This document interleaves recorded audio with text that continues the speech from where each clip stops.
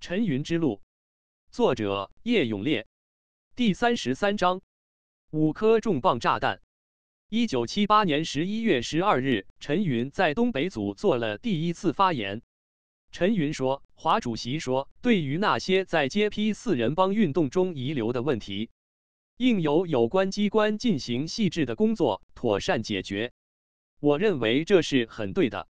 但是，对有些遗留的问题，影响大或者涉及面很广的问题，是需要由中央考虑和做出决定的。对此，中央应该给予考虑和决定。陈云首先指出，文化大革命中震动全国的六十一人叛徒集团一案应予平反。陈云此言一下子引起全会关注。陈云说，薄一波同志等六十一人所谓叛徒集团一案。他们出反省院是党组织和中央决定的，不是叛徒。一九三七年七月七日，中央组织部关于所谓自首分子的决定这个文件，是我在延安任中央组织部长一九三七年十一月以前做出的，与处理薄一波同志等问题的精神是一致的。我当时还不知道有这个文件，后来根据当时审查干部中遇到的问题。在一九四一年也写过一个关于从反省院出来履行过出狱手续，但继续干革命的那些同志，经过审查可给予恢复党籍的决定。这个决定与七七决定的精神是一致的，这个决定也是中央批准的。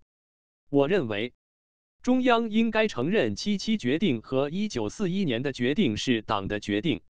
对于那些在文化大革命中被错误定为叛徒的同志，应给予复查。如果并未发现有新的真凭实据的叛党行为，应该恢复他们的党籍。对他们做出实事求是的、经得起历史检验的结论。这对党内党外都有极大的影响。不解决这些同志的问题，是很不得人心的。这些同志大体都已是六七十岁的人了，现在应该解决他们的问题。陈云提出要把六十一人叛徒集团翻过来，是因为他在延安担任中共中央组织部部长七年，深知这一案件内情。一九三七年七月七日，在陈云担任中共中央组织部部长前夕，中共中央组织部曾作出关于所谓自首分子的决定。其中第三条规定，凡在狱中表示坚定做满刑期，送到反省院的同志，照例要办自首手续，或填一般反共自愿书，才能出狱。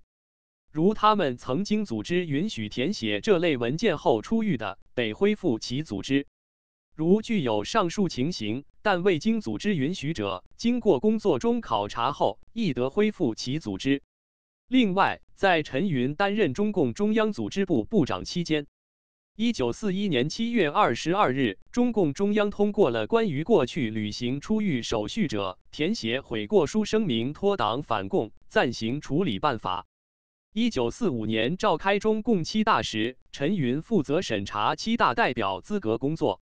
曾有人提出，这六十一人之中能不能当选代表？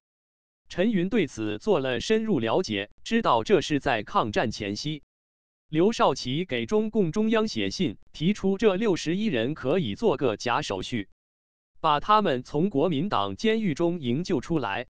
刘少奇给毛泽东、中共中央的信，是经原中共中央北方局和河北省委秘书长王林从天津带到延安，交给了张闻天，再由张闻天交给毛泽东的。此后，刘少奇来到延安时，又当面向毛泽东做了汇报。中共中央经过研究，同意了刘少奇的意见。正因为这样，陈云在当时就指出，这六十一人可以入选中共七大代表。由于陈云对六十一人案件有着亲自的调查，所以他非常坚决地提出为他们所谓的叛徒问题进行平反。